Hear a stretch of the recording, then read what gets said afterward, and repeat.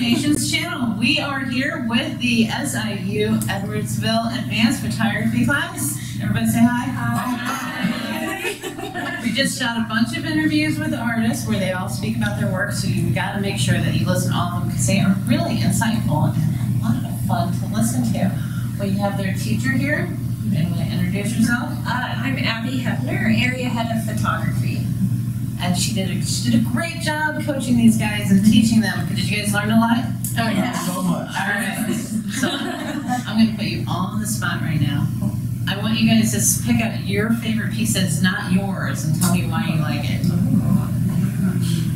Okay. All right, everybody get a second? Um, Who wants to go first? I'll start. I'll start. I really like Hannah's work. I really like how it turned out. I especially like um, that one right there. Mirrors? Yeah, yeah. The that- mirrors, the isolation series with the mirrors. Yeah, I think it's really thought provoking and uh, yeah, it's shot really nice. Is that like is it composite or is those actual Um, mirrors? they are mirrors, but I composited um, her in each mirror. That's cool. It's wonderful work. All right. Who wants go next? Okay, um, my first, I think, is also Hannah work. The one on the top with the blanket. With the blanket? yeah, I think I told them before that this remind me of Little Mermaid. Uh, what is that? Ursula. Yes. Awesome. You ready? Um, my favorite work is Natcha's work. I love the one with the hand. The hand with the scar. And this one is the toilet. yeah. And now we didn't talk about this in your interview. So you hurt yourself on the toilet. Yeah, it's actually the, the water tank lid. I lift it up just to check that the water doesn't work. For some reason, it's broken my hand. Oh, and that's the scar. Yeah, that's my toilet friend. Uh, my friend toilet also. All right. How, uh, Darren? I love Kelly's work. I just love the depth of field that she's displayed in her photos. Very. Is there a particular one in the series? Um, especially this close up of this side of this uh, Is the tavern? Yeah, you can just like see almost all the way down the uh, the tower. Hold on, we'll be right back. All right, and we're back. Okay, sorry about the interruption. Had to take care of some business. Darren, now what you were saying about the tap, the tavern? Oh yeah, I really love her. I, I really love the conversation that Kelly displays about past and present, and just like seeing how things evolve throughout her images. It's really awesome. And also like the depth of field that she's also displayed. Wonderful. Uh, and you want to go next? Yeah, of course, I'd love to. So my favorite work is actually Darren's. Um, first because I love the like composition of having all these images in one large frame. And how it's like these snapshots that have a lot of atmosphere. I just feel like it's you have to sit with the work to really digest it, and I really enjoy that aspect of it. That's great. Okay, you want to go next? Sure. Um, I think I really like. Uh, I really like Aaron's because I feel like it's a bit more interactive, and it just I haven't seen a lot of work that's interactive like that. So. It is the first time we have had QR codes on things here at the gallery, and I, I had to learn something new. the wonderful thing about these these pieces are you you can actually you take a picture of it with your phone, you go to your website, and you can listen to the voices of women and talk about how they sit with white privilege. It's really it's you gotta give yourself at least a half an hour because it took me a half an hour to listen to everything. It's, it was really nice. So um. I really like Brooke's work. I have been just, it's been so fun to watch as she's experimented with different um, post production editing and incorporating her painting in the work and then like using composite photography but always using herself as the subject. It's just, it's been really interesting to watch them That's great. Yeah. Oh, see, I cannot choose because I very, very honestly am quite enamored with all of your work for very different reasons. And I'm super, super proud of all of the work that you did. And it's amazing to come in here and just like at the end of the semester see this work that's very much collaborative, that you all gave so much of yourselves to assist your peers and to think so thoughtfully about the work. I think it's all really impressive. Um, and so congratulations, and I hope this is like an exciting time to celebrate. Oh yeah, I, I do have to say, like, as I was going, there was a little something about every piece that I loved. Like Hell and Back. I love having this is, this is our first time having comic books on the store. That's great, and, and they're really it's really skillfully done. You did a wonderful job. And after listening to your interview, I mean, I, I'm a superhero freak too. Like I wanted to be Jaime Sommers, Bionic Woman, when I was a kid. you know, it's like, but I mean, it's Spider, you know, female Spider-Man. This body ain't gonna happen. It's not gonna happen. Anything's But possible. like, it's wonderful. I read through it. I'm looking forward to seeing the full book because it doesn't really end. Yeah, yeah. It leaves you on a cliffhanger. Cliffhangers. And and the Alton series is wonderful. Like I I didn't realize, I mean I hung it, I looked at them, I studied them, but I wasn't it didn't dawn on me at first that it was overlays of taking the past and the present and putting them together. It is it is wonderful. Like listening to you talk about the work while I was viewing it really gave me another dimension to it. It was it was really nice. And the scars, like we all have our scars.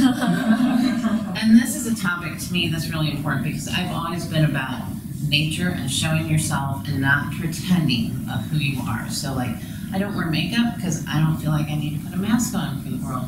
And this the scar series goes right along with that. Like you can show your scars, you can be vulnerable, you can put yourself out there, and there's nothing wrong with it. You're just as beautiful with or without the scars. And of course, the sitting with our whiteness series. oh, Goodness, like like I spent a good half hour listening to this, and it was insightful and poignant. And there was one of the women, I think it was Mariah. was, what's the one at the very end? Or- Tara or Mariah? One of them that went to a Catholic school Mariah. and had very limited experience growing up.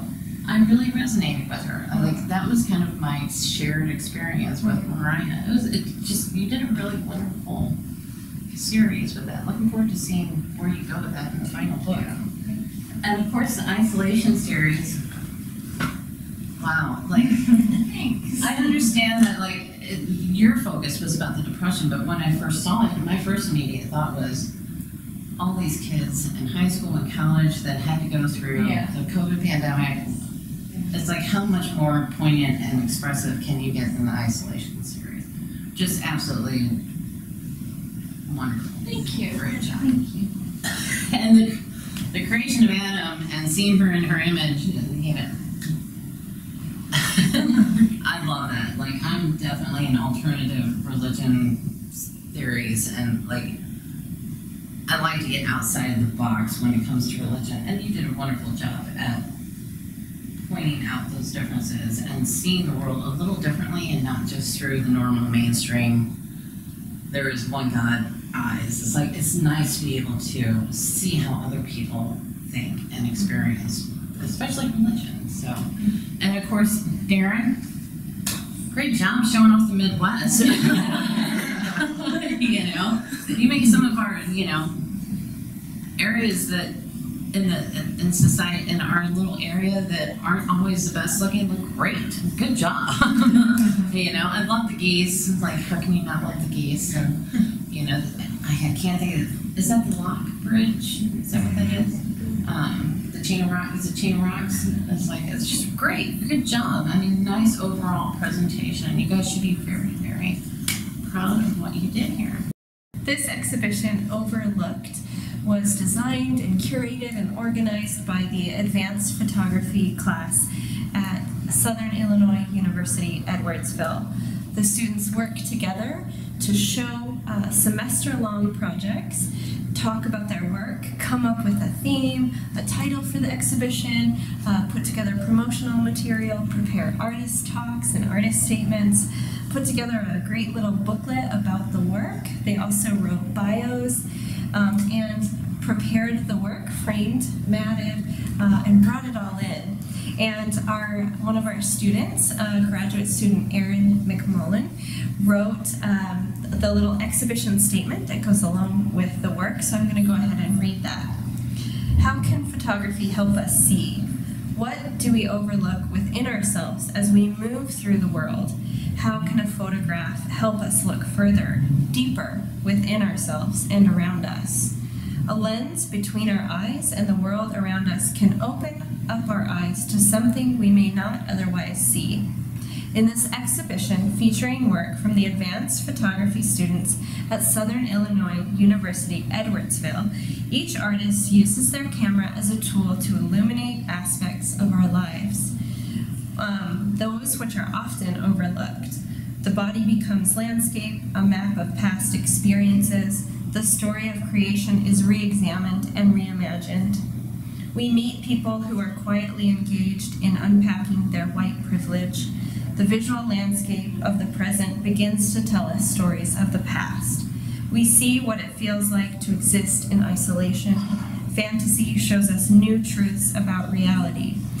Th- This exhibit breaks down blinders and asks us to slow down and break up the ever quickening pace of our lives, to look closer at what all too often is overlooked.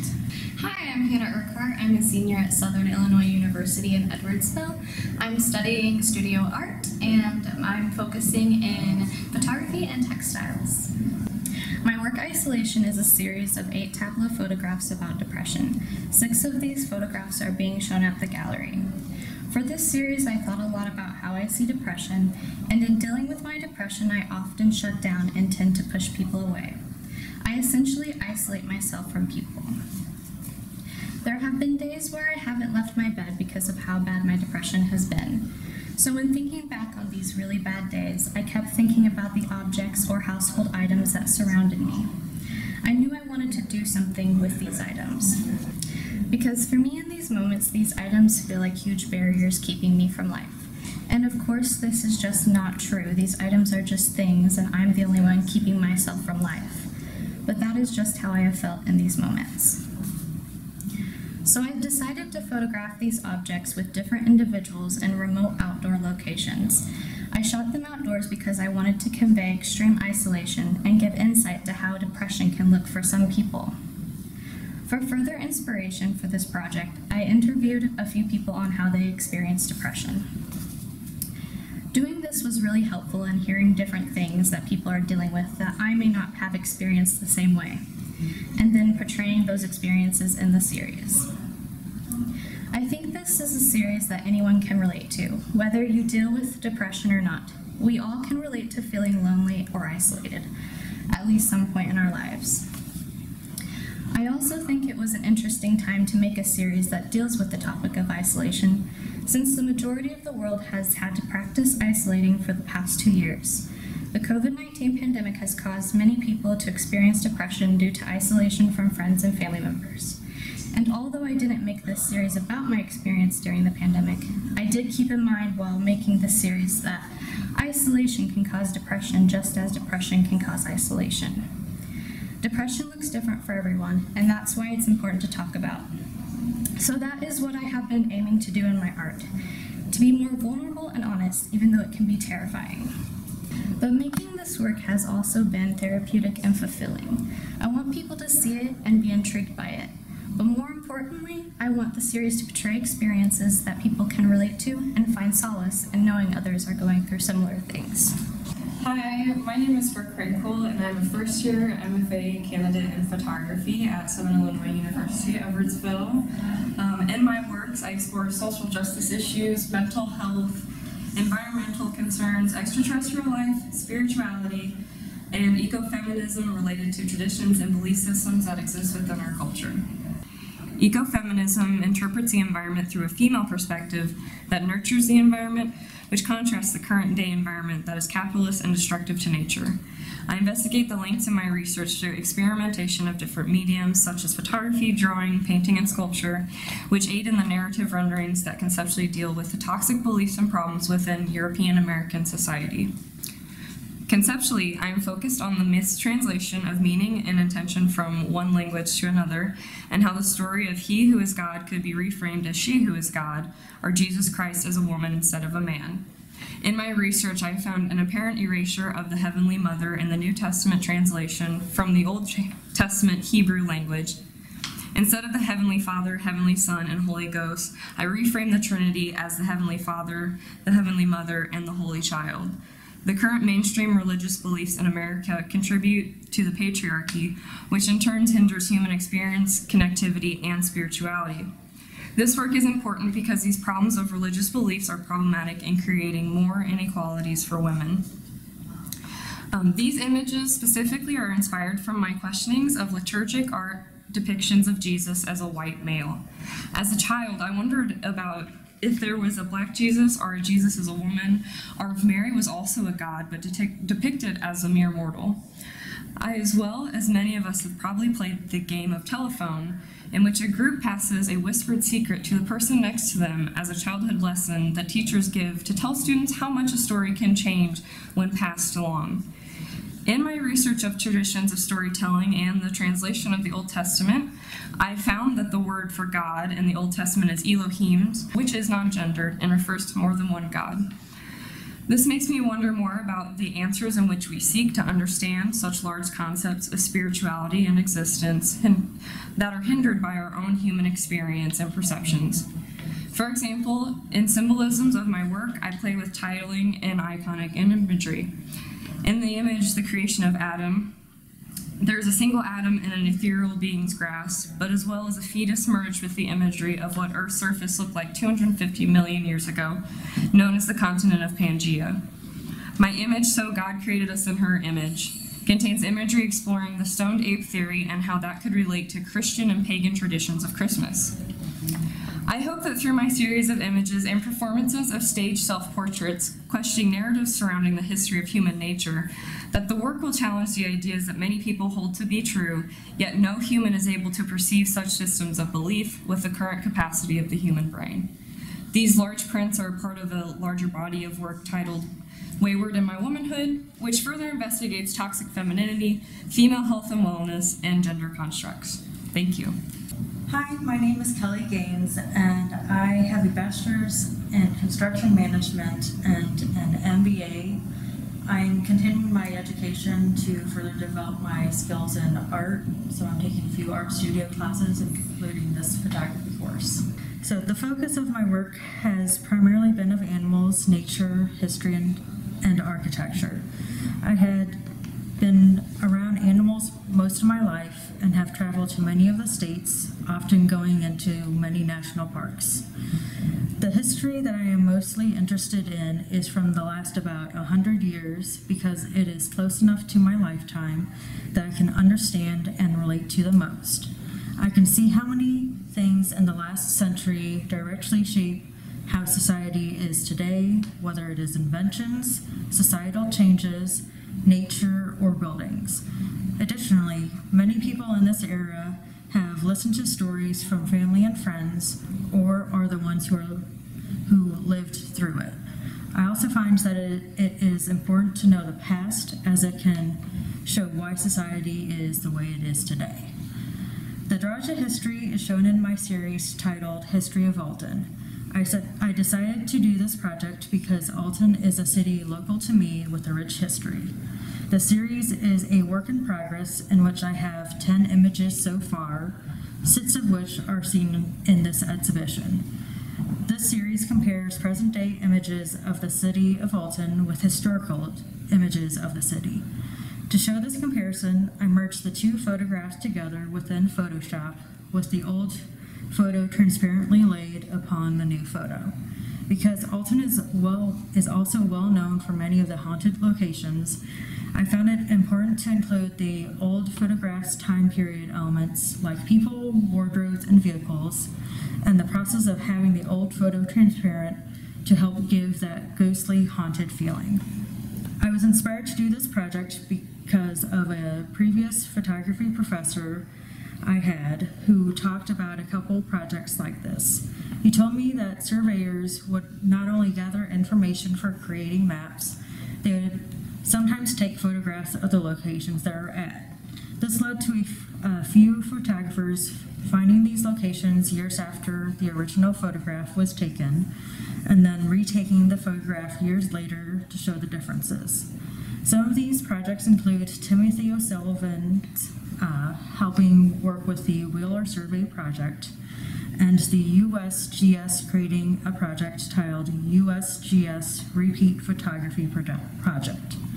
This had sparked my interest as I had taken a couple survey courses when I was going for my construction degree, but did not know they would sometimes take photographs. Since I was also also interested in history, I found it an interesting idea to pursue. For this project, I found that Alton has a long history that goes way back to even before the Civil War. While this was from more than a hundred years ago, history overall is interesting to me, and though these events, I and through these events, I can see how the war greatly influenced the area. The image titled Love, Lovejoy Bench was taken at the Elijah Lovejoy Monument, which is dedicated to Elijah Lovejoy. He was well known for his views on anti slavery, which led to his murder by a pro slavery mob. The prison for Confederate POWs was located in Alton, which led to both a military cemetery and monument dedicated to the Civil War, which is seen in the image civil, entitled Civil War Monument. In addition to the Civil War, Alton is like many other cities where buildings can come and go or, or still be standing today. Some locations have had many different buildings, like the Image Tavern, which is now the Oasis Women's Shelter. Some locations have the same buildings stand tall for many years, but aren't, aren't used anymore, as seen in the images of Grand Theater and Stratford. Finally, some buildings are still being used today for their original purpose, as seen in College Life from the Lewis and Clark Community College campus. When viewing this work, I expect the audience to wonder more about Alton and its history. I also hope that it encourages viewers to look past a current building's purpose and to be curious about its past, whether in their hometown or in their travels. It's important for history to not be overlooked. As the U.S. historian Henry Glassie states, history is not the past but a map of the past, drawn from a particular point of view to be useful to the modern traveler. Hi, my name is Darren Bennett. I'm currently from St. Charles, Missouri, but I grew up in University City, Missouri. I currently attend SIUE, Southern Illinois University, and I'm pursuing a BA and a minor in studio art. Throughout my childhood, I've always been fond of photography. At the age of 14, I found myself very interested in my mother's Nikon camera a lot, messing around, just trying to find different photos to take, take pictures of. Uh, most of the time, it would be random still lifes or various other objects throughout the house that caught my eye. Later, my parents both noticed my interest and purchased me my very own DSLR camera, and I haven't stopped taking photos since. Fast forward, I find myself exploring ways to display feelings and emotions through images. Works like this explore how nature affects the psyche and moments that tend to go overlooked. These images serve as analogies for locations and events that can be seen as a sense of stability and tranquility. this project required me to dig deep and reflect on some personal circulating issues that I found myself running into constantly. The theme of Zen and meditation helped me channel a different take on negative and positive situations that I felt like I couldn't bear mentally in my home environment. I found that nature within itself is an outlet through observation and through consideration to help decompress and relieve feelings of anxiety and self doubt.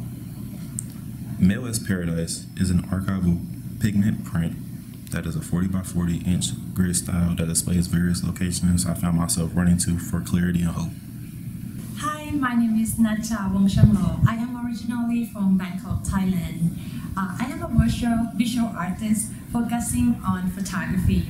Currently, I pursue my master degree in fine art at Southern Illinois University at Edwardsville in art studio, uh, focusing on photography and digital media. I bring a professional background in portraiture to my current work as a visual artist. That experience has also included business management and recruitment, giving me a unique skill set that I have honed with advanced photography coursework at Michigan State University and the Nikon School in my native Thailand. And more recently with my master in digital photography degree from New York's prestigious School of Visual Arts. Currently, I am pursuing my MFA in Art Studio with a focus on photography and digital media at Southern Illinois University, Edwardsville. I utilize my camera to explore the theme of home, culture, community, identity, and the relationship between people and places. To examine my formation of personal methodology, I often incorporate myself and my experience as a reference.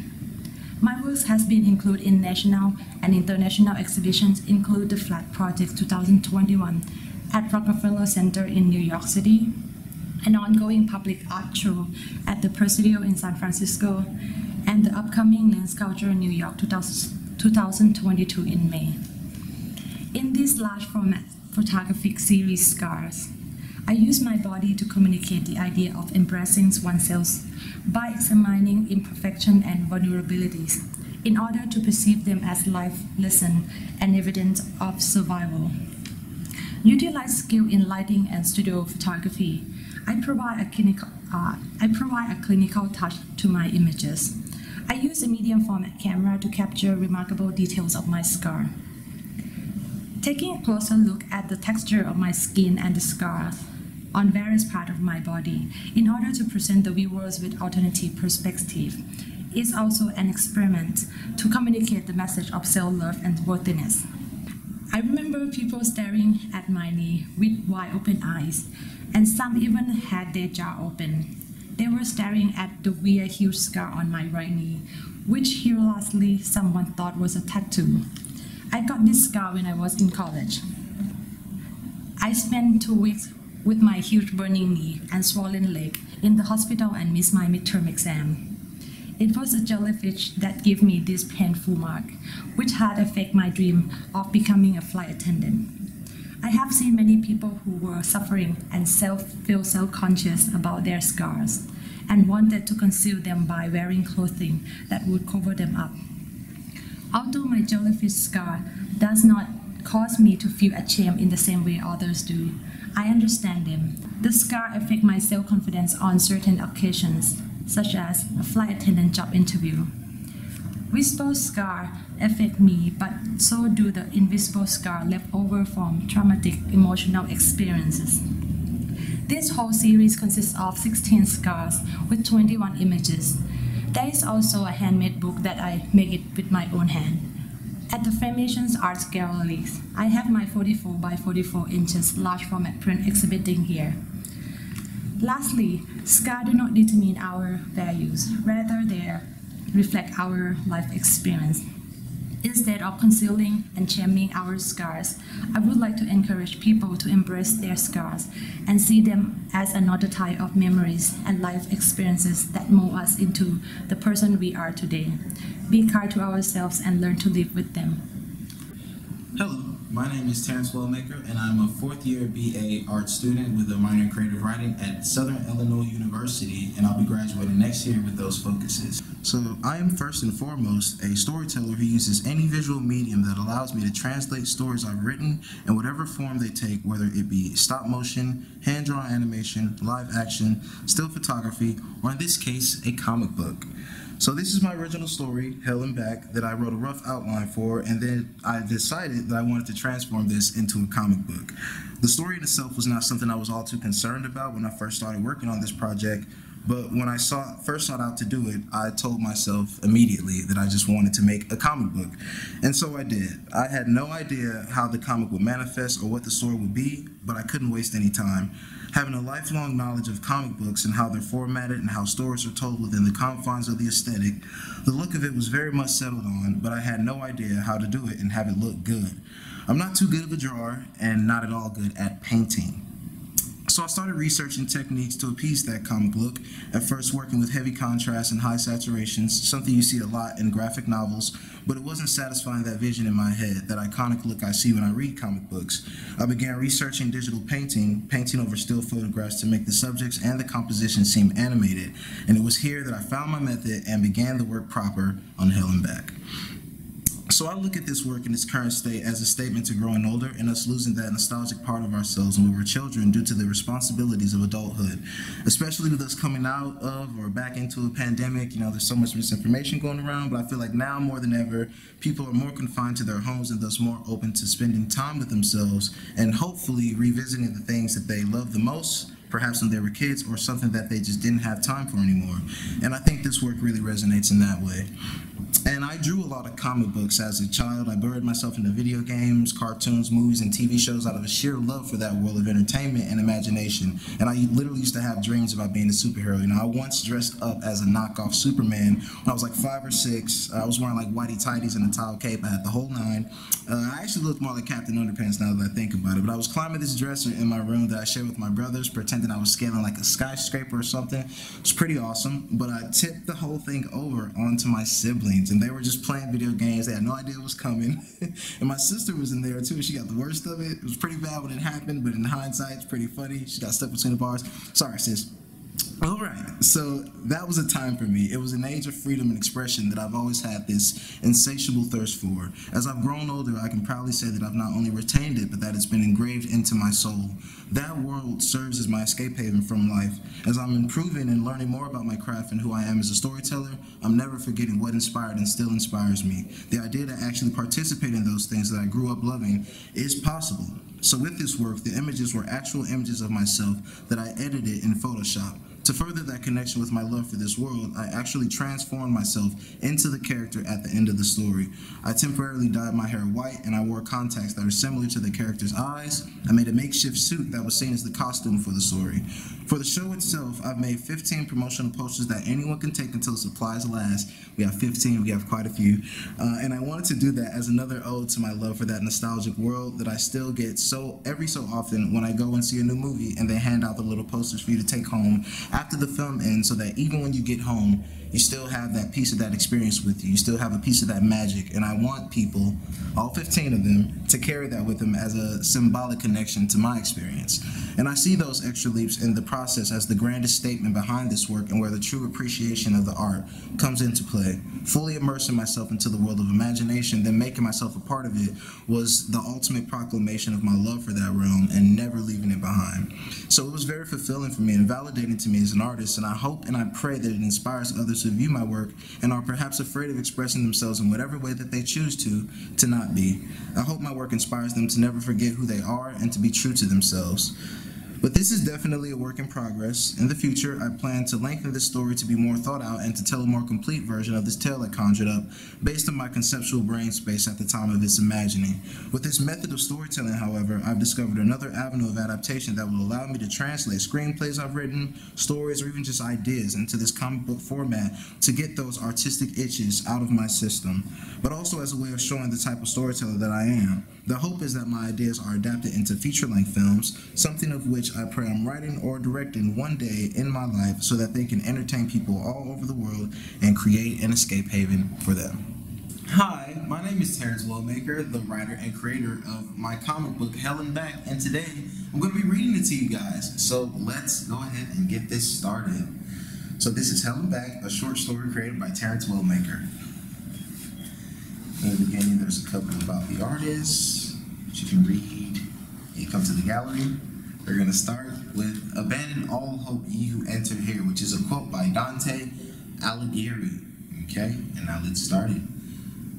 Oh, the weather outside is frightful, but the fire is so delightful.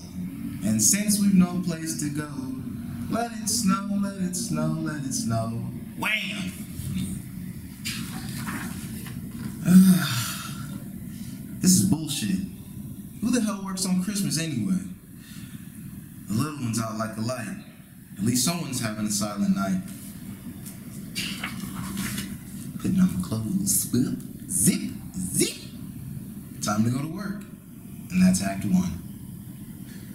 Oh, come on, red light. Literally the only one here. Huh? Hmm. Must have just been the what the phone. It's the apocalypse. At first, there was nothing. Pitch black, darkness. But then there was this beautiful light, like nothing I'd ever seen. Last thing I remember, I was falling. I was at peace for a second. I don't remember saying you fell into heaven. Act two begins. Holy shit! No pun intended. And so it began. But this wasn't torture, judgment. This was conditioning. Preparing us, two billion years later, hell time for our resurrection. Three minutes later, our time. Whoosh, bang. Am I burning? Rah!